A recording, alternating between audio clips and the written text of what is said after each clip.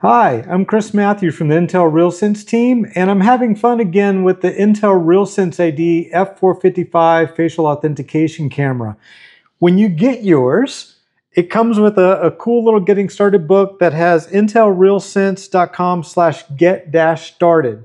Um, that's where you're going to go to set up your camera, the licensing. You're also going to download the SDK, the developer SDK from there, which is all open source a lot of cool tools to get you started, uh, and I'm going to show you a couple of them uh, right away. So open your browser to intelrealsense.com slash get dash started.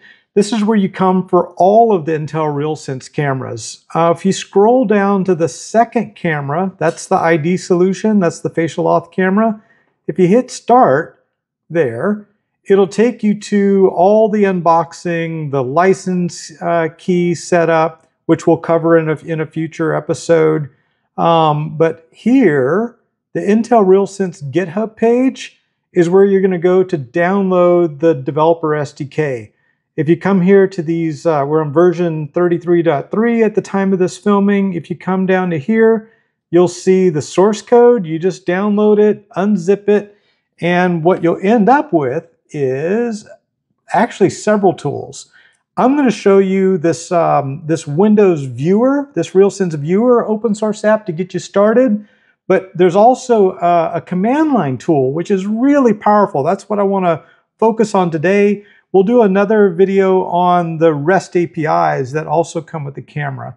Uh, but let's let's open up the uh, the command line interface here on the right um, what you'll see here is uh, uh, a command line interface where you can walk through all of the functionality that's covered under the REST API, but through the command line interface. So I can do things like pair my camera, which is what I'm looking at here. I can do things like um, uh, tell me how many people are enrolled.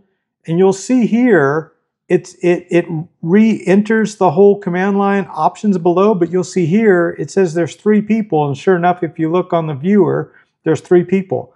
I can say list their their names, like I can do a U here, and sure enough, it says Melissa, Stephen, and Chris. And um, what I think is cool, you can enroll obviously from here as well, but I like this this authentication part. So if we do A and look at the camera, it comes back and tells you successfully authenticated user ID Chris.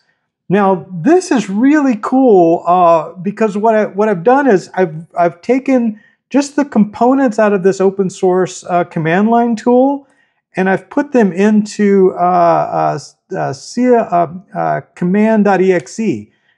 Now, what's cool about command.exe is you just simply run it and it comes back with the authentication of the user or spoof or failed. Um, but what's exciting about this is that you can shell out to this command from any programming language. You know, if you're a Node.js person or a Python person or C, you just shell out, call this command, and pass it the COM port, and it returns uh, the status, the username, or the um, uh, uh, the spoof or the the result. So how cool is that? So if you'd like to experiment with a camera of your own, go to intelrealsense.com. You can purchase the cameras on the website directly or download the developer SDK and experiment on your own. It's all open source, lots of source code examples there. So I would love to see what you create with any of our RealSense cameras. Uh, I'd also like to hear your feedback in the, in the video itself or share it online let us know what else you'd like to see us put together. We love these ideas. We love the community. Thank you so much for being a part of it.